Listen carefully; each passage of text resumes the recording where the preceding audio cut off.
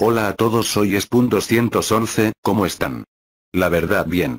Esta vez le haré una crítica destructiva a una de las series más mamonas de YouTube. Y no, no es la familia del barrio. Estoy hablando de esa idiotez llamada Calico Electrónico. Y ustedes se preguntan, ¿qué es Calico Electrónico? Es una serie web creada por un subnormal bajo el seudónimo de Nico, un desconocido animador español que ya lleva años desde que apareció en la red. Se trata de la vida de un superhéroe con obesidad que cuando cae la noche. Aparece como si fuera plagio de Batman. Con una estrella de cuatro puntas en su barriga, y anda haciendo gilipollez y media, con armas tan hijaputas sacadas del traste de un mandril, acompañado de un bisexual músculo llamado Muzaman, que de inteligente yo lo tengo de menudo. Y que se enfrentan a monstruos y villanos con la capacidad de un bicharraco pulgoso y lleno de sífilis, gonorrea, lepra y demás. Sus compañeros son, el Chacho Miguel. Un malandro gitano de pelo ondulado que roba cosas para luego venderlas, al grito de...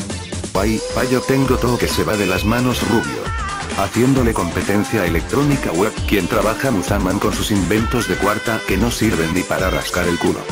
Luego tenemos al lobo hombre. Frase pendeja del hombre lobo, y lo que hace es hacer música y andar de cagón todo el día.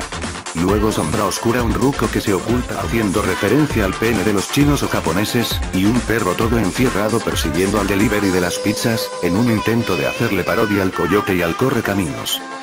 También está Mundo Calico que hacían referencia al cómic, a la web minijuegos, y demás haciéndole publicidad a la misma una llamada segunda mano. Es, web de compras española conocida aquí como Mercado Libre. Las copias a la mula serie de Pocoyo y demás huevadas. Lo único rescatable eran dos miniseries muy buenas una llamada Rumbarola copia animada de Rock'n'Rolla, esa serie estaba buena pero el pendejo de Nico, no la terminó. ¿Y sabías lo que? Presentada por un profesor chiflado que demostraba cosas reales del ser humano, los animales, etc. Pero para evitar problemas es de humor español, para españoles. Y eso se debe perdonar. Pero cuando cuando invento, la serie de la tele, me tienen sin cuidado esas mamadas. En fin espero, que hayan disfrutado de mi crítica espero poder hacer más con el locuendo.